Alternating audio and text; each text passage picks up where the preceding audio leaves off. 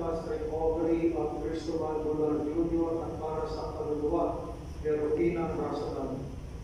Sa ngalan ng Ama at Anak at ng Espiritu Santo, ang pagpapala ng ating Panginoong Yeso Kristo, ang pag-ibig ng Diyos Ama, at ang pagkipagkaisa ng Espiritu Santo, naway sumayyong lahat.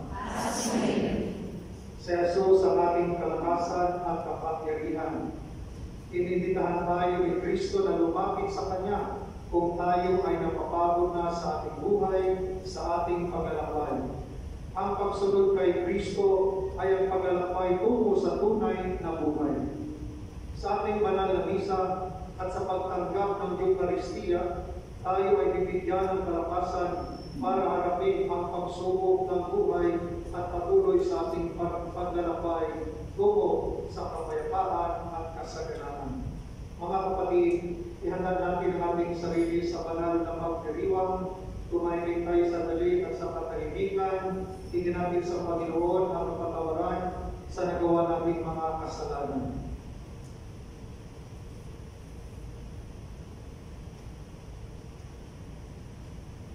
Inamin ko sa Diyos, at sa inyong mga kapatid, naluwa akong nagkasala sa isip, sa salita sa gawa, sa aking pagkukulang.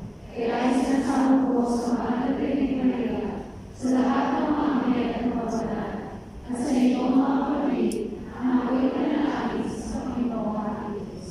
Kaawaan tayo ng makapangyarihang Diyos, patawarin tayo sa ating mga kasalanan, at patubayan tayo sa buhay na walang hanggan. Amen.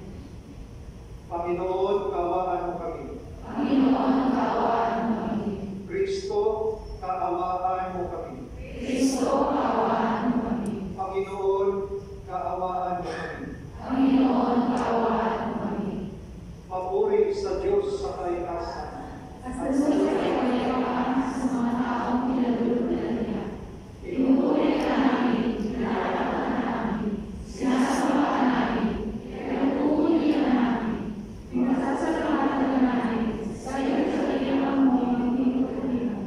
Panginoong Diyos, sa akin namin, Diyos na ang makapangyarihan sa lahat, Panginoong Jesucristo, utong na anak, Panginoong Diyos, Kordero ng Diyos, anak ng Ama. Ikaw ang nag-aayos ng mga kasalanan sa libutan. Maawa ka sa amin. Ikaw ang nag-aayos ng mga kasalanan sa libutan. Tanggapin mo ang aming kahilingan. Ikaw ang naluluklo sa kanan ng Ama. Maawa ka sa amin. Sapagkat ikaw lamang ang banal. Ikaw lamang ang Panginoon.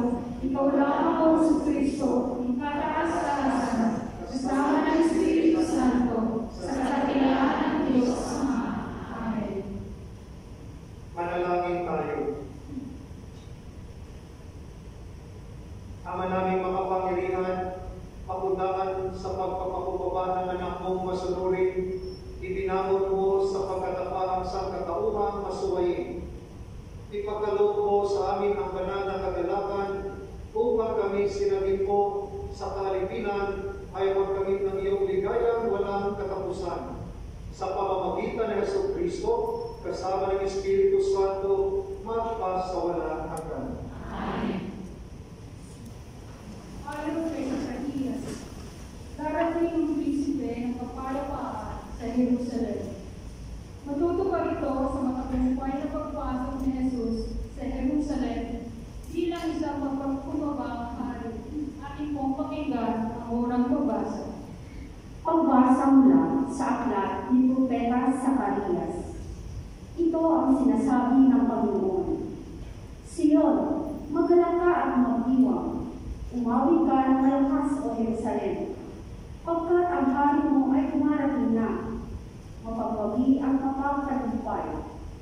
Mapagpakumbaba siya at nakasakay sa isang bisirong asno.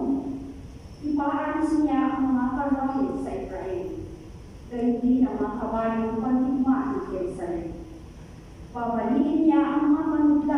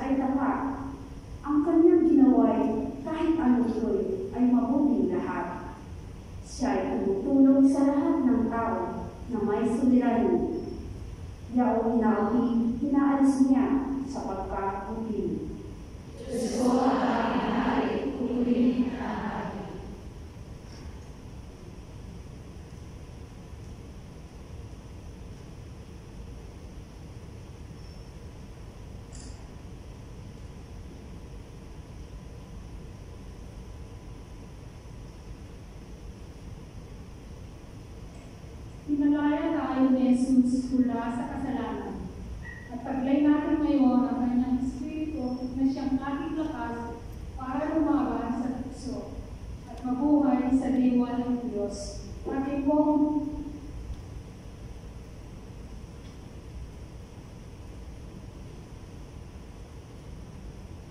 Ating pong pakinggan ang kalawang basa. Pagbasa mula sa sulat ng Apostol San Pablo sa mga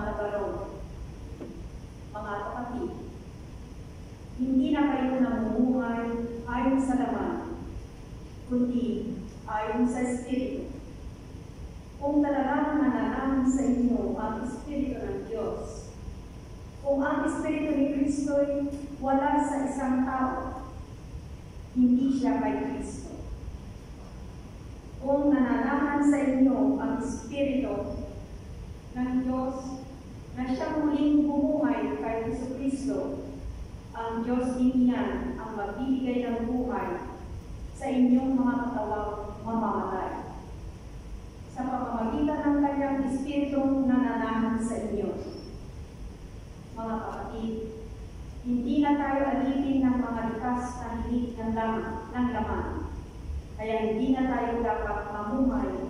maayos na naman. Sapagkat mamamatay kayo kung namumuhay kayo sa laman. Ngunit kung pinapatay ninyo sa pamamagitan ng Espiritu Santo ang mga gawa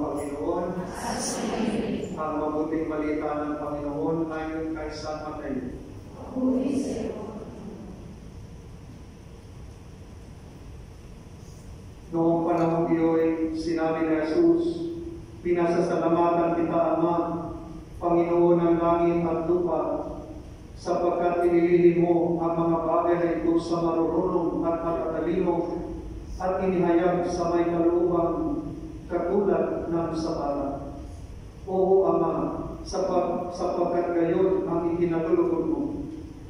Ibinigay sa atin ng ating Ama ang lahat ng bagay. Walang nakakikilala sa anak, kundi ang Ama. At walang nakakikilala sa Ama, kundi ang anak. At yung maparaming pagpa, pagpahayagan ng anak. Lumapit kayo sa akin, kayong lahat na napapagal at nabibigatan sa inyong pasalin. At kayo'y papapahingahin ko. Pasanin ninyo ang aking pamatok at mag-aral kayo sa akin. Ako'y maamo at mapapagloob at makasusumpo kayo ng kapaymaan para sa inyong kaluluwa. Sapagkat maginhawag talhin ng aking pamatok at magaan ang pasaning ibibigay ko sa inyo. Mga kapatid, ang mabuting balita ng Panginoon.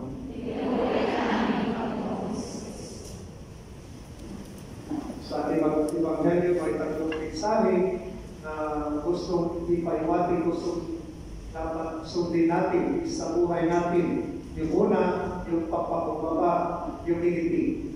At pangalawa, yung mensahe sa Ebanghelyo, ang daan para sa kaligtasan ay walang iba kundi si Jesus ang ating Panginoon. At pangatlo, si Jesus ang ating kalakasan. So, sa unang bahagi, si Jesus, sinabi ni Jesus dito sa ating pagbasa, Pinasasalamatan kita, Ama, Panginoon, ng langit at lupa, sapagkat inililihim mo ang mga bagay na ito sa marurunong at matatalino, at inihayag sa may kalubang tulad ng sabata.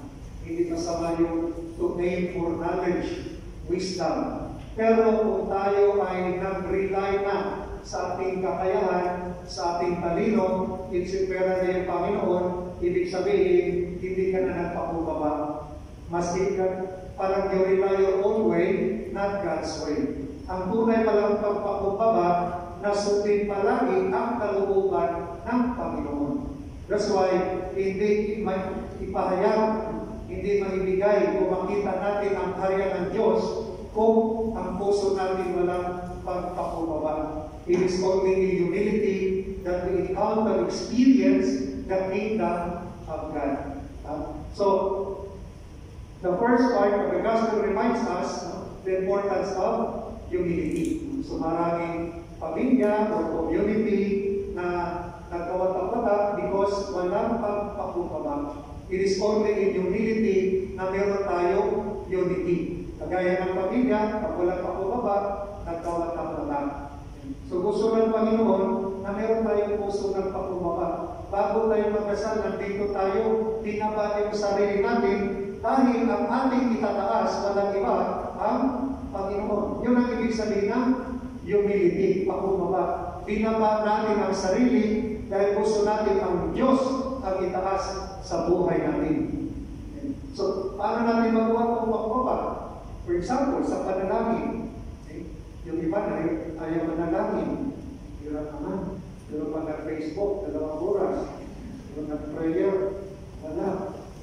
So, kung that's why sinabi nga dito sa unang pag ay kalawang pagbasa, ang, ang Espiritu, ang Diyos ay nasa atin, ang buhay natin ay buhay na buhay. That's why prayer, it is a form of humility. Pagpunta natin ng simbahan, it is a form of humility. Dapat yung attitude natin binaba. So pag nagpunta pala tayo dito, kasi nandito to, lugar to na sa Panginoon, church is the house of God, dapat yung attention natin, yung isip natin, yung puso natin, sa Kanya. Naintindihan? Kung nandito ka, inisip mo pa rin yung sarili mo, hindi ka nagpakumbaba. Nagdasal ka pa rin, pero inisip mo pa rin yung sarili mo. Ano ka nagpupuri ng Panginoon? Di ba sinabi dito sa pagbasa, Oo, Ama, sapagkat gayon, gayon ang ikinalulugod mo. Okay? Nalulugod, natutuwa ang Panginoon na sa kabila ng ating problema, nilimot mo yung sarili mo, yung problema mo, dahil gusto mong papurihan ang Panginoon. Sometimes, hindi tayo makapagbigay puri ng Panginoon pag ang sarili mo ay nauunan. So, alam ng Diyos, bago ka pa pumunta rito, bago ka pa tumanggap ng thermometer checking, alam na ni Lord yung problema natin. Nandito tayo dahil nagtitiwala tayo kay Lord, natutulungan tayo sa problema natin. Yan ang ibig sabihin ng pakumbaba. Hindi yung pamamaraan mo ang musunod, kundi ang pamamaraan ni Lord. Pag sinunod natin ang pamamaraan ni Lord, sigurado maging victorious tayo, we can overcome lahat ng problema natin. Dito sabi nga ni San Pablo, if God is with us, who can be against us? Sasamahan tayo ni Lord.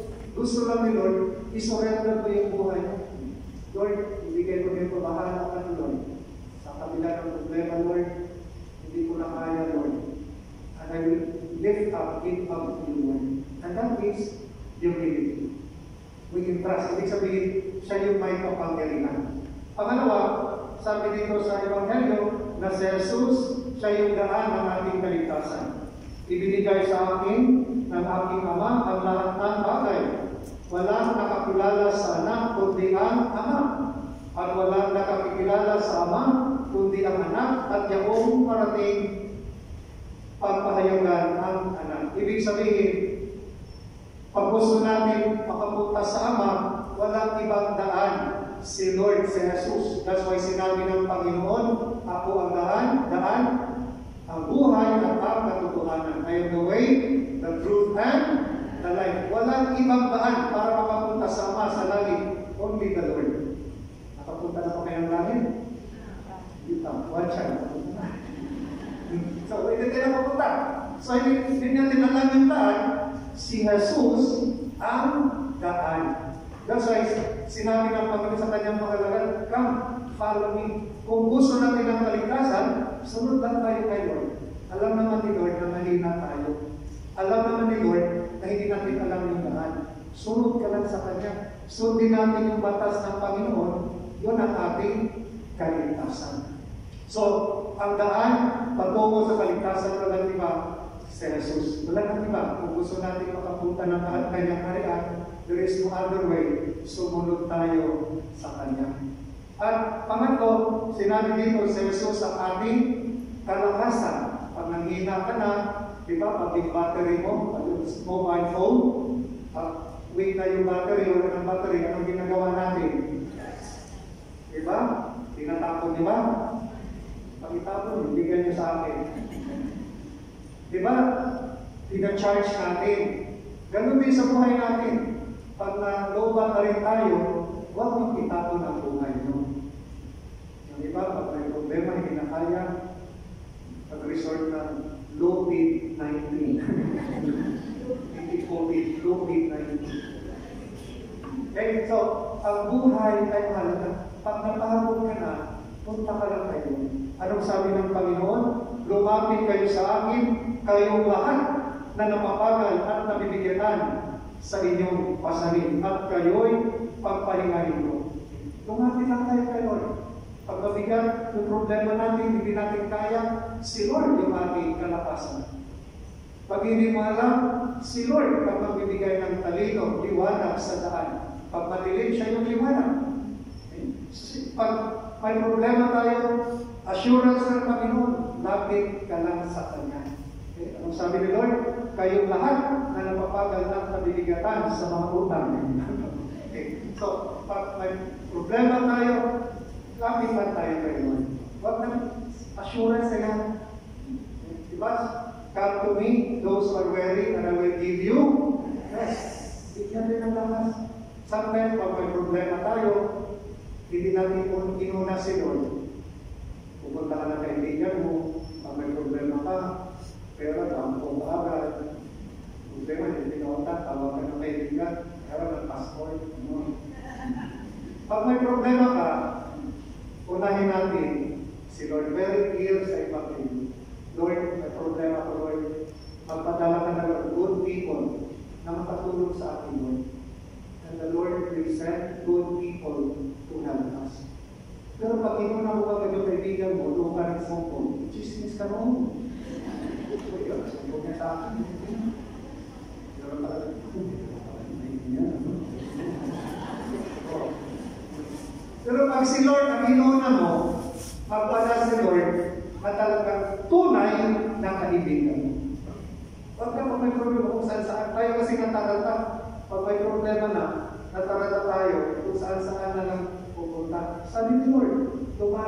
sa akin.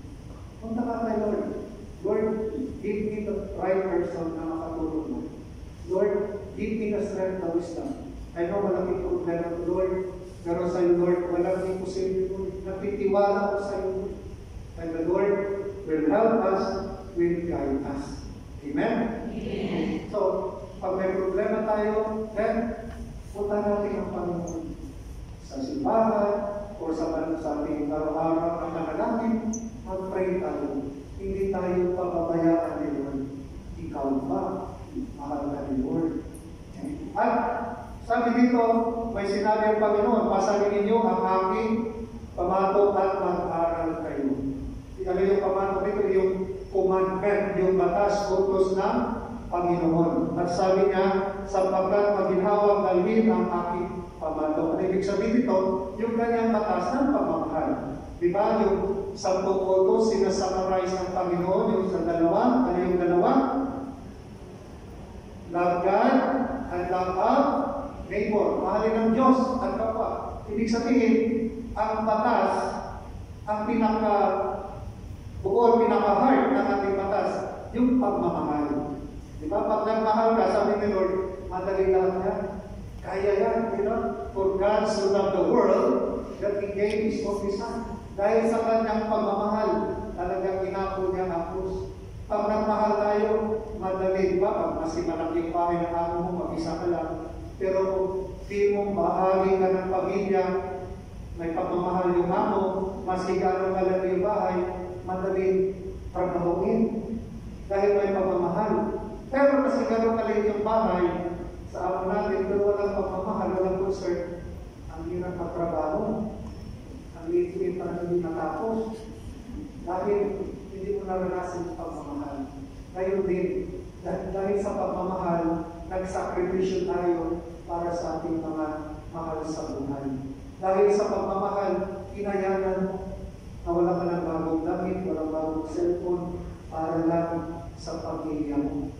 Diba? Ang pagmamahal, marunong man, sakripisyo. At ganun si that's why sa kanyang pamato, yung pagmamahal. Kung meron tayong pagmamahal, madali lahat, madaling manalangin. Because I love the Lord, I want to spend time with you. Pero wala tayong pagmamahal kay Lord, Lord, sorry Lord, tumawag yung ex-boyfriend ko kasi Lord. Okay, so the Lord, ah, the Lord is reminding us na sana yung ah, pagsunod natin sa Kanya out of the yung pagmamahal. Yun ang kanyang, sabi ng Panginoon, sapagkat maghihawang dalhin ang aking pamatok at magaan pasanin, ibigay ko sa iyo. So sa ating banal na Eucharistia, ating papasa, number one, we're reminded the importance of humility, pagpakumbaba. Ibig sabihin ng humility, binaba yung sarili natin dahil gusto natin itaas ang Diyos. Di ba? Pag nakita ng iba kung mas masyado kang ma-pride, hindi nakita nila ang Diyos sa buhay mo. Pero pag binaba mo, nagpakumbaba ka, nakita nila si Kristo sa buhay mo. Yun ang humility. Binaba ang sarili para itaas ang Diyos, para mapurihan ang Diyos. At pangalawa, walang ibang daan para sa kaligtasan, kundi sa pamamagitan ni Jesus. Siya yung daan patungong Ama. Di ba pag nagdadasal tayo sa banal na misa, palaging sinasabi, we ask this through Christ our Lord. O, Tiningin na dito sa pamamagitan ng iyong anak, through Christ our Lord. Si Jesus, ang daan natin tungo sa Ama, tungo sa kaligtasan. At kung tayo'y napapagod na, susuko na tayo, sino yung ating kalakasan? Yung ating kalakasan? Wala pa rin naman. Sino yung ating kalakasan? Si Lord. Diba? Si Jesus yung ating kalakasan. Problema sa trabaho, sa pamilya, sa community, come to the Lord. Come to Jesus. Hindi ka niya papabayaan. At makita mo na siya yung ating tunay na kalakasan. Amen. Magsitayo at ipahayag ang ating pananampalataya. Sumasa sa Diyos sa mga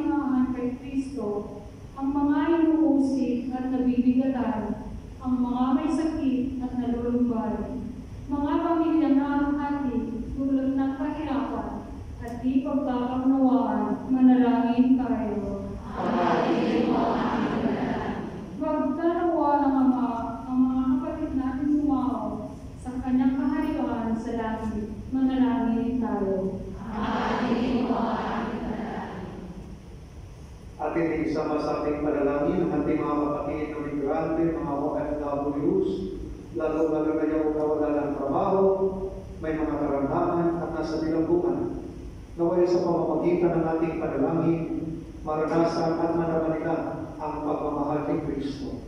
Manalangin tayo.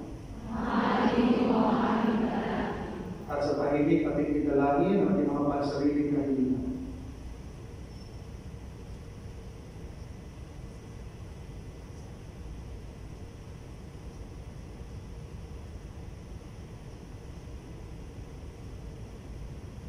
Ama naming mapagmahal, digin mo ang aming mga kahilingan.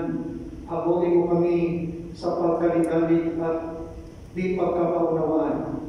At punuin nawa kami sa pananampalataya at katatagan ng loob sa ngalan ni Kristo, aming Panginoon.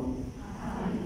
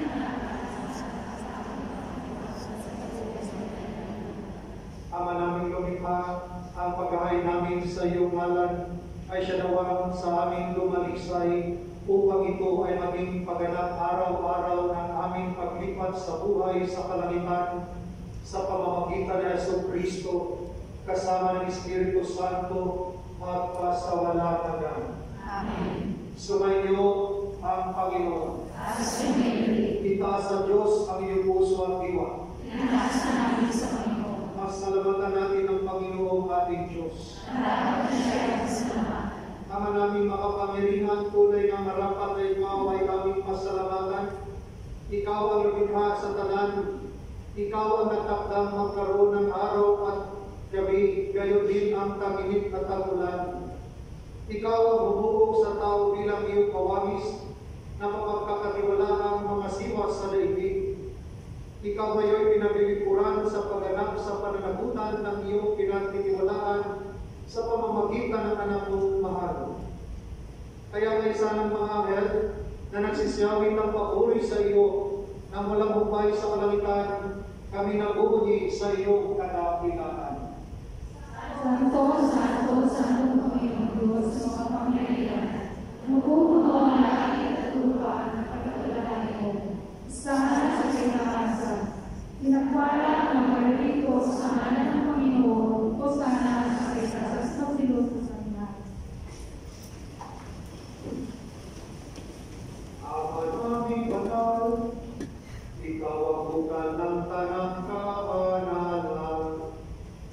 Kaya sa pamamagitan ng iyong Espiritu, gawin mo banal ang mga kaloob na ito upang para sa amin maging katawan at dugo ng aming Panginoong Yesu Kristo. Bago niya pinagpisan ko sa loob na maging handog, hinawakan niya ang tinapay, pinasalamatan kanya, pinaghati-hati niya iyon, iniabot sa kanyang mga halaga, at sinabi, Tanggapin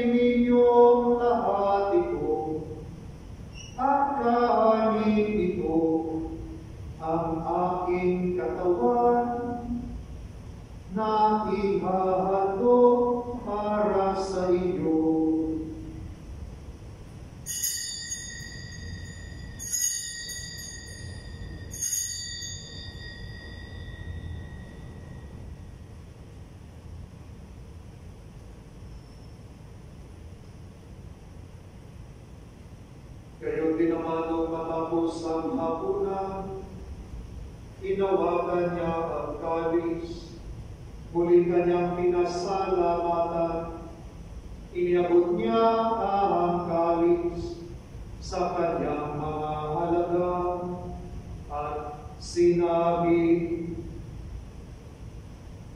Tanggapin ninyong lahat ito at inumin ito ang kalis ng aking dugo na bago ang walang hanggang ipan ang aking dugo na ibubuhos para sa inyo at para sa lahat sa ikapagpapatawag ng mga kasalanan.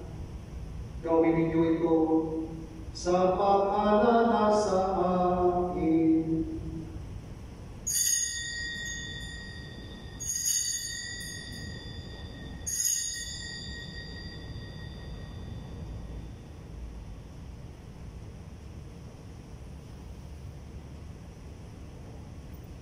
Ipabunyi natin ang misteryo ng pananampalataya.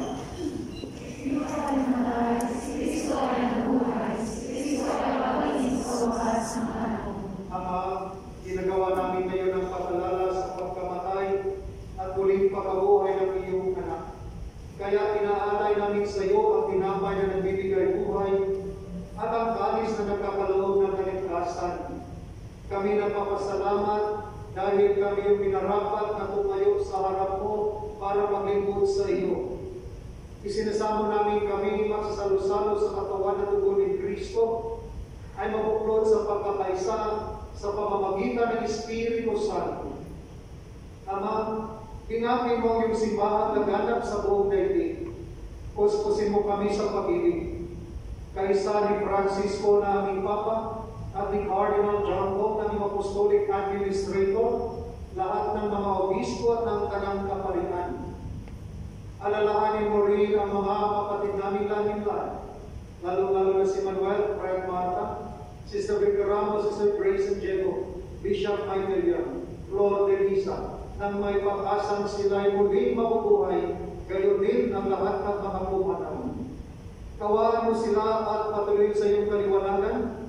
Kaawaan mo at paginapatin kaming lahat na makasalo sa iyong buhay na walang wakas. Kaysa ng mahal na Mary Maria na ina ng Diyos at ni San Jose ang kanyang kabiyak. Kaysa ng mga apostol at ng lahat ng mga banal, San Lorenzo Ruiz, San Pedro Calungsod, na namuhay dito sa daigdig ng kalugulugod sa iyo. May pagdiwang naman namin ang pagpupuri sa ikararagal mo sa pamamagitan ng iyong anak na aming Panginoong Yeso Kristo.